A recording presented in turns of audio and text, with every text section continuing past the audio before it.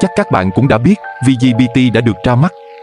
Việc ra mắt VGBT, ChatGPT phiên bản Việt đã đánh dấu khả năng làm chủ công nghệ của Việt Nam. Cao hơn thế nữa, có thể tự chủ khai thác, bảo vệ an ninh dữ liệu quốc gia cùng hệ tri thức, tư tưởng mang bản sắc Việt Nam. Và trong video ngày hôm nay, chúng ta sẽ cùng đưa VGBT lên bàn cân, so sánh với AI bác của Google để xem liệu VGBT có tốt hơn bác không nhé. Bây giờ chúng ta cùng bắt đầu video nhé.